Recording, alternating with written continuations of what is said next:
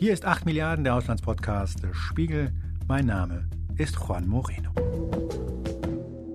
Diese Folge wird unterstützt vom Podcast NZZ Akzent aus dem Hause NZZ der Neuen Zürcher Zeitung. NZZ Akzent, das ist täglich ein Stück Welt. Hier geben Reporter und Reporterinnen der NZZ Einblick in ihre Recherchen. Hier hören Sie spannende Geschichten, wichtige Hintergründe und fundierte Analysen zu den aktuellen Themen unserer Zeit. Jeden Tag eine Viertelstunde Weltklasse-Journalismus bekommen Sie bei NZZ Akzent, täglich auf Spotify oder Apple Podcast.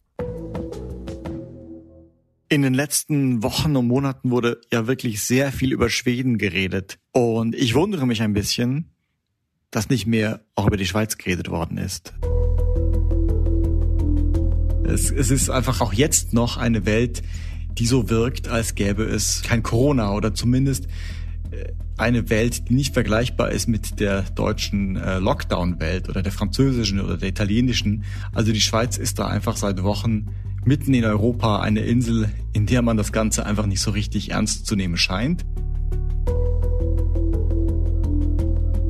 Regelmäßige 8 Milliarden Hörer werden diese sonore Stimme möglicherweise bereits erkannt haben. Das war Mathieu von Rohr, Ressortleiter Ausland beim Spiegel. Und wir sprechen Sie an es über die Schweiz und über den eher ungewöhnlichen Umgang der Schweizer mit dem Coronavirus. Und genau zu dem Punkt, der deutsche SPD-Politiker Karl Lauterbach hat etwas gemacht, was die Schweizer ganz bestimmt ganz großartig finden.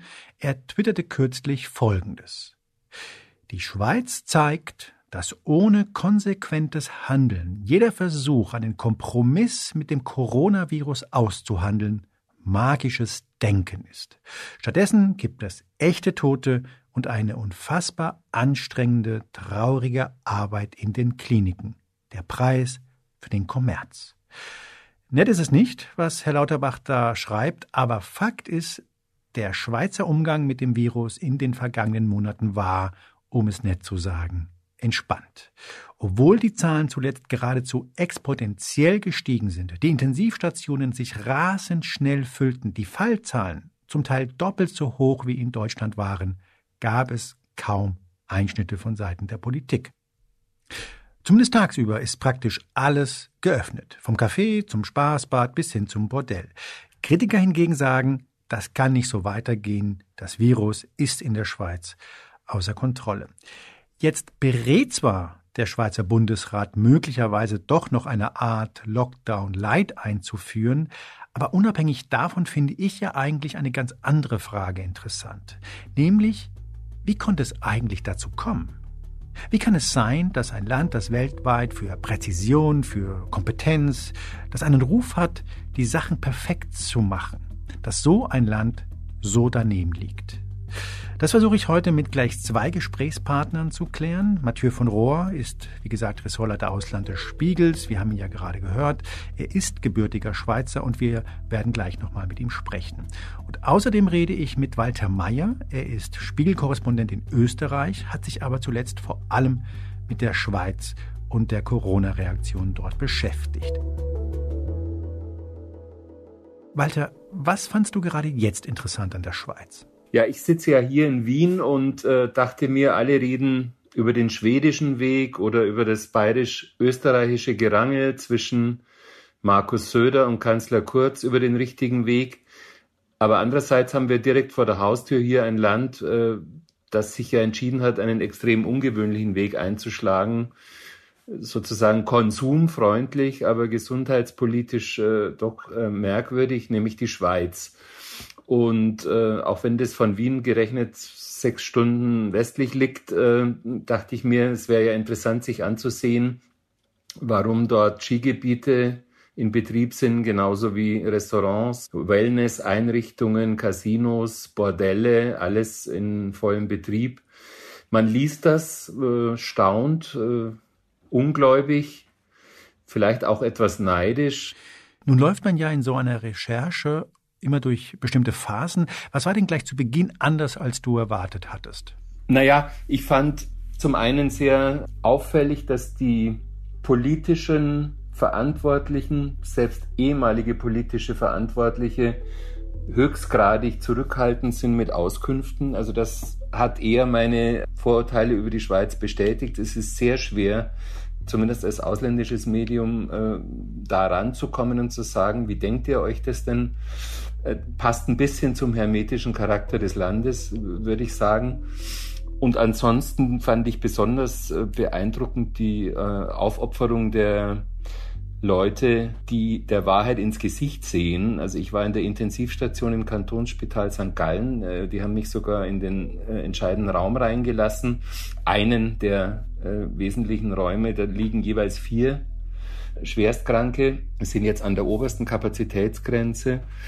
Und zu sehen, wie die Leute da sich engagieren und ihr Bestes tun und 300 Meter schräg gegenüber hat das Spielcasino St. Gallen geöffnet und zwar ab 9 Uhr früh mit mäßigem Publikumszuspruch, aber immerhin. Das sind zwei Welten, zwei Parallelwelten, die man sich schwer vorstellen kann. Mit welcher Grundhaltung bist du eigentlich losgefahren? Naja, man hat natürlich äh, äh klassische Klischees im Kopf, äh, bevor man sich auf den Weg macht, äh, die Schweiz immer etwas Besonderes, nicht in der EU äh, stolz auf die eigene freiheitsbetonte Geschichte, seit Jahrhunderten in keinen Krieg, in kein Gemetzel verwickelt. Also äh, insofern denkt man, möglicherweise passt dieser Sonderweg auch zur, zur Schweizer Geschichte. Und ich würde sagen, bei näherer Betrachtung drängt sich der Gedanke auf, dass das eine mit dem anderen schon zu tun hat. Also die Schweizer sehen sich per Definition irgendwie als anti-Mainstream und pflegen äh, ihre jeweiligen Eigenarten in den 26 Kantonen, sind auch stolz darauf.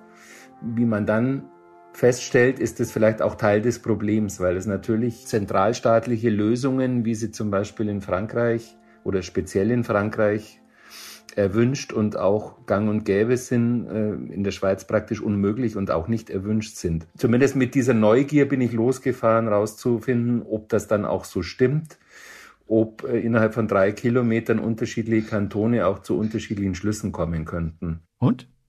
Kommen sie? Es sieht so aus und äh, es hält auch an, dieser Trend. Äh, ganz konkreten Beispiel, ich habe mich überwiegend mit dem Kanton St. Gallen beschäftigt, der auch an den Bodensee grenzt, aber dann weit reingeht ins Land, äh, der Skigebiete hat, aber auch anderes.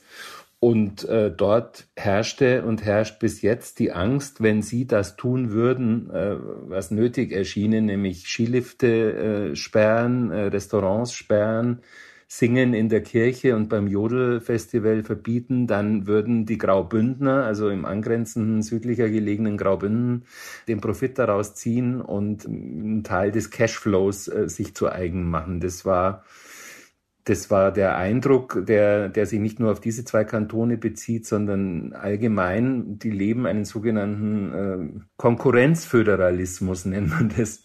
Das heißt, äh, die Eigenheiten der Kantone werden respektiert, aber man beobachtet auch haargenau, äh, was, was nebenan passiert und möchte volkswirtschaftliche Schäden vermeiden. Das ist in der Pandemie eine große Gefahr.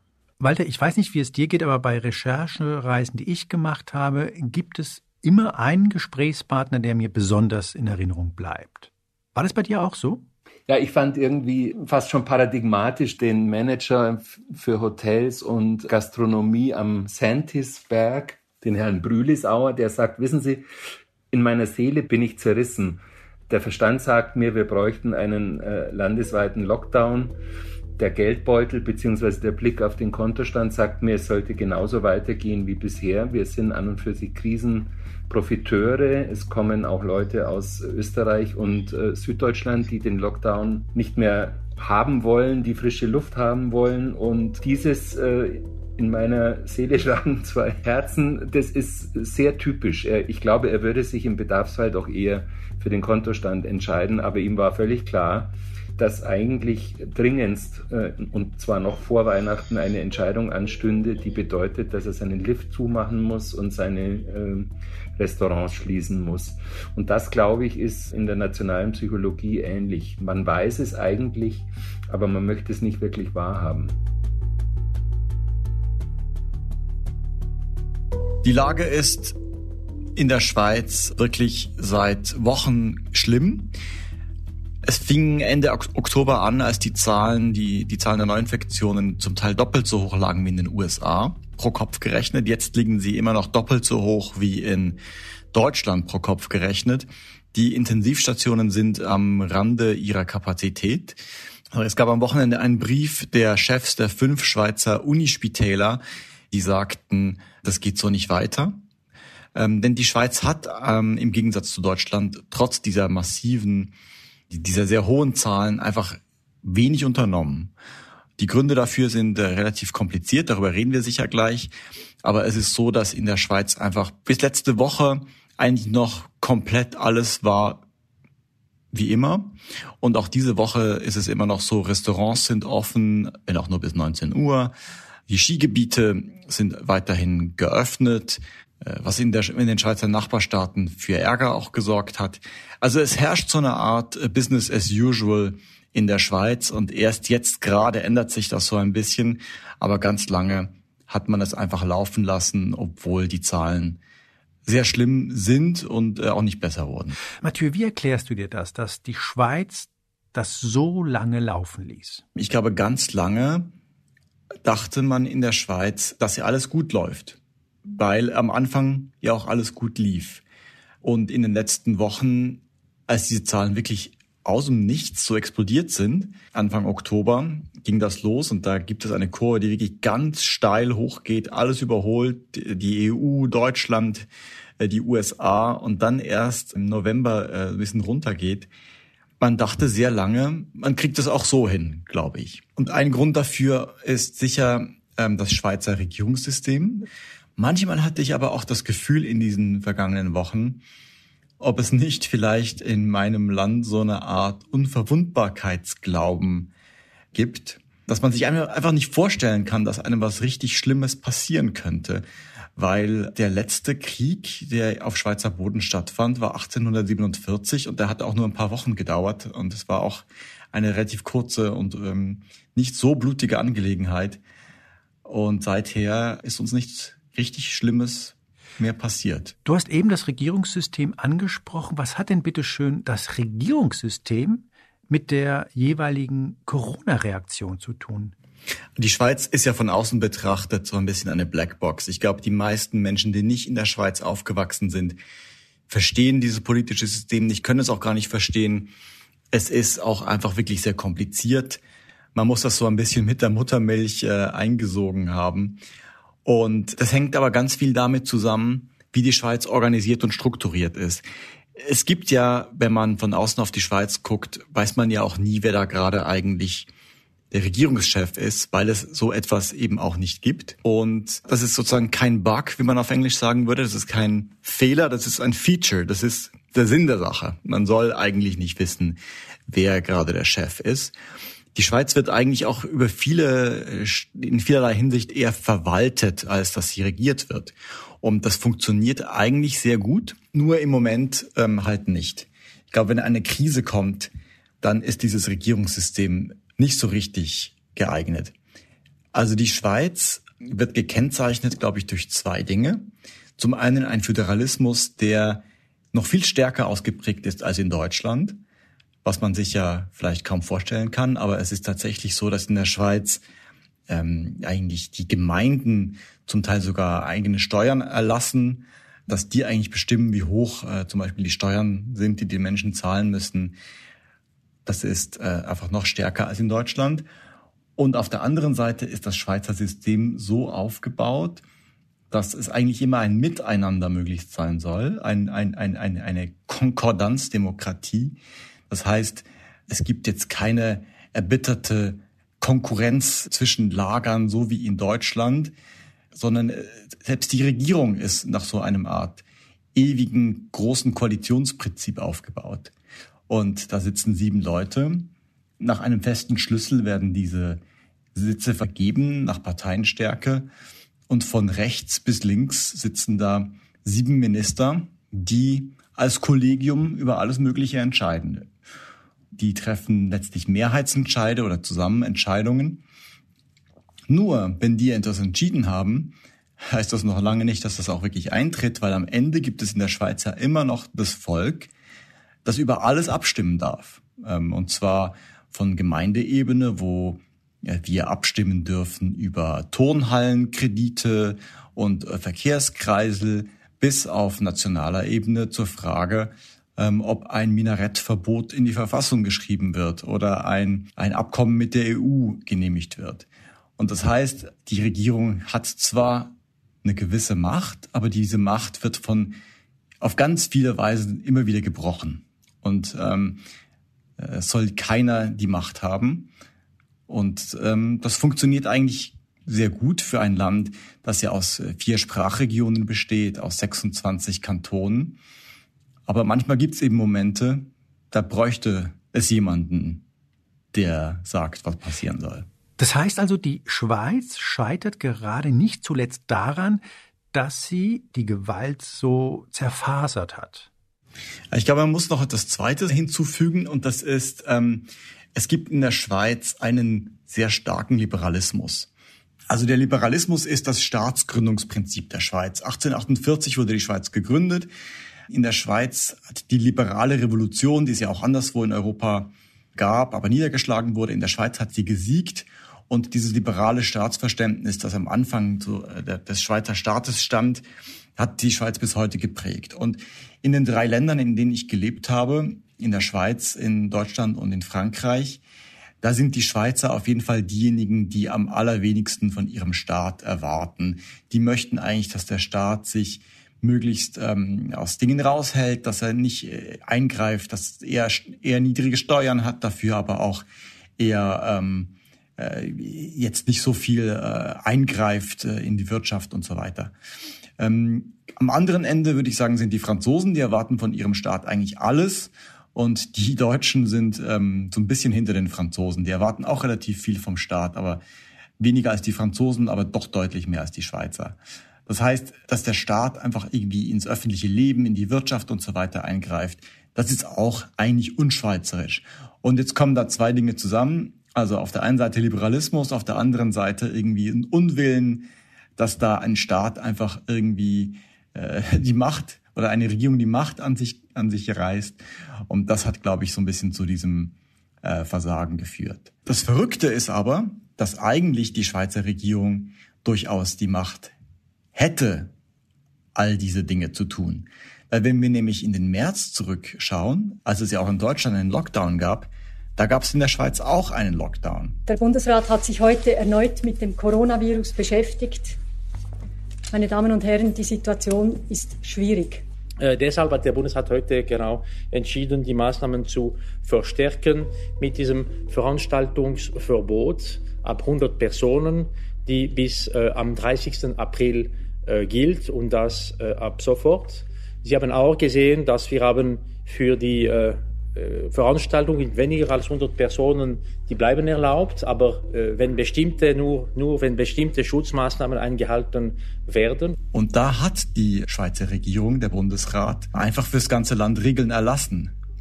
Ähm, das kann sie nämlich sogar. Im Gegensatz zur deutschen Bundeskanzlerin. Die muss ja immer Markus Söder und Armin Laschet und alle an einen Tisch bringen und dann muss sie mit denen streiten und am Ende äh, kommt dabei irgendein Kompromiss raus. Das haben wir jetzt gesehen in den letzten Monaten. Und in der Schweiz, die äh, noch föderalistischer ist als Deutschland, ist es aber so, da kann die Regierung einfach sagen, wir haben jetzt hier eine Epidemie, es ist eine außerordentliche Lage und wir, die Regierung, wir machen jetzt einfach, wir erlassen Regeln fürs ganze Land. Und das haben sie gemacht im März. Dann im Juni hat man gesagt, jetzt ist es vorbei. Sehr geehrte Damen und Herren, der Bundesrat hatte Mitte März die außerordentliche Lage erklärt. Wir hatten damals über 1000 neue Ansteckungen pro Tag. Jetzt sind es noch 10 bis 15 Fälle pro Tag. Diese erfreuliche Entwicklung sieht man unserem Land an. Die Schweiz ist in den letzten Tagen aufgeblüht. Und statt von Lockdown reden wir vor allem über Lockerungen. Und dann hat man von einem Tag auf den anderen einfach mehr oder weniger alles wieder zugelassen. Großveranstaltungen, alles Mögliche wurden, wurde plötzlich wieder erlaubt. Und das war, glaube ich, der Moment, wo die Regierung sich gesagt hat, jetzt haben wir das ein paar Monate lang aufrechterhalten. Wir haben drei Monate lang dem Land äh, vorgeschrieben, wie es ähm, durch diese Krise zu kommen hat. Jetzt machen wir das einfach nie wieder. Und ich glaube, die waren gewissermaßen, hatten gewissermaßen Angst vor der Macht, die sie sich da selber genommen haben in dem Moment. Und das hat dazu geführt, dass einfach die nächsten Monate die Regierung nichts mehr gemacht hat und ähm, die Kantone sich quasi selbst überlassen wurden und jeder Kanton dann selber irgendwie was entschieden hat oder auch eben nicht.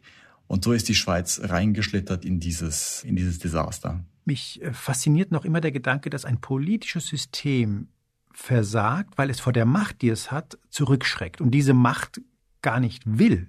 Was ja eher ungewöhnlich ist, wenn man sich das gemeinhin bekannte Verhalten von anderen Politikern in anderen Teilen der Welt anschaut. es ist einfach ein System, das nicht für Krisen ausgelegt ist, sondern es ist ein System, was dann super funktioniert, wenn es äh, läuft. Und normalerweise läuft's ja auch. Und immer dann, wenn es krisenhaft wird, gerät dieses System an seine Grenzen. Und ähm, es ist halt einfach alles auch sehr eigen und sehr äh, auf Schweizer Bedürfnisse ausgelegt und da funktioniert's auch. Man könnte jetzt noch damit anfangen, dass dieser Bundesrat, dieser siebenköpfige, die sind natürlich alle auch immer anderer Meinung. Ähm, da gibt's dann zum Beispiel den einen, das ist der SVP-Bundesrat Urli Maurer. Und der Urli Maurer, der ähm, macht dann immer bei Pressekonferenzen, wo es darum geht, ob jetzt doch wieder Maßnahmen verkündet werden sollen, verzieht er dann so demonstrativ das Gesicht oder gähnt oder so, um einfach der Öffentlichkeit zu zeigen, naja, er er hält das sowieso alles für Quatsch diese ganzen Maßnahmen. Aber das sagt man dann halt nicht so richtig öffentlich, weil man ist ja eine Kollegialbehörde als Regierung. Und ähm, er wurde dann halt wahrscheinlich überstimmt oder er musste sich dann irgendwie beugen. Und dann gibt's eben auch diejenigen im Bundesrat, wie zum Beispiel den Gesundheitsminister, der härtere Maßnahmen will, oder die, ähm, die eine, eine christdemokratische Bundesrätin, Viola Amherd, die zum Beispiel auch für einen härteren Lockdown wäre. Aber das wird alles hinter den Kulissen ausgefochten. Das erfährt man dann immer so in den Medien, manchmal wer dafür, wer dagegen war. Das wird aber nie offen ausgesprochen. Ende ist ja quasi, ähm, man, man ist ja eben eine Kollegialbehörde und man fällt sich nicht öffentlich in den Rücken.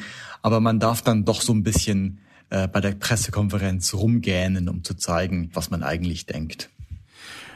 Also Mathieu, ich kann dir als äh, gebürtiger Spanier sagen, der wahrlich ein anderes politisches System und eine andere Diskussionskultur äh, kennt.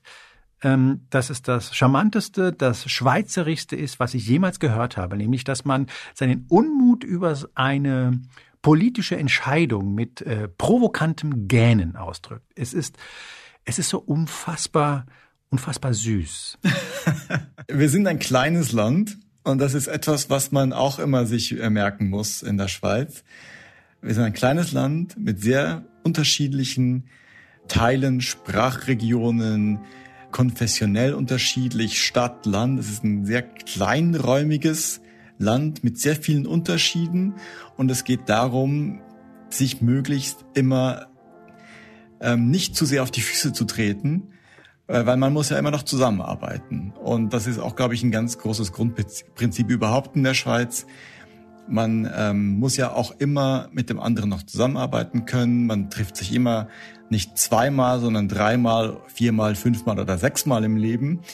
Und auch deswegen muss man, was Kritik und ähm, Konfrontation angeht, sich immer ein bisschen zurückhalten. Und das ganze Schweizer politische System ist letztlich auf diesem Prinzip aufgebaut, dass man halt möglichst sanft miteinander umgeht.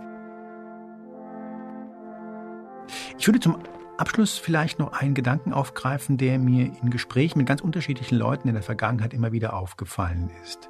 Und zwar, inwiefern ein gewisses Selbstbewusstsein als, als Land in der Corona-Krise durchaus ein Nachteil sein kann. Also sagen wir so, ein Spanier oder eine Spanierin hat es jetzt nicht so wahnsinnig überrascht, dass Spanien die Pandemie ziemlich vermasselt hat. Und äh, ich glaube, das ist substanziell anders vielleicht in der Wahrnehmung als, sagen wir mal, bei einem Deutschen oder einer Schwedin oder bei einem Schweizer.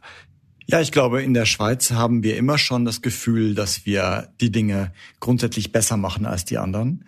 Ich glaube sozusagen, der, der schweizerische, wenn es einen schweizerischen äh, Patriotismus gibt, dann ist er sehr stark, äh, gründet er sehr stark auf dem Gefühl, wir sind letztlich schon irgendwie die Besten und wir machen es besser als alle anderen. Das ist auch ein bisschen vergleichbar mit einem gewissen deutschen Überheblichkeitsgefühl.